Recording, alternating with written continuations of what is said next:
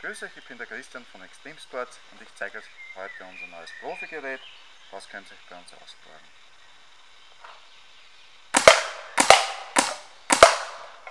Im Prinzip ganz normale Einzelschuss.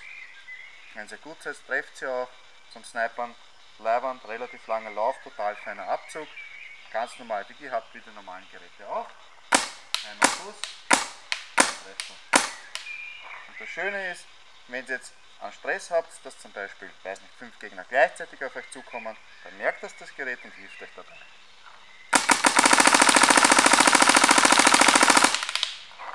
Im Prinzip, umso schneller ihr abzieht, umso schneller kommt sie und irgendwann geht sie dann ins Ramping, sprich Dauerfeuer.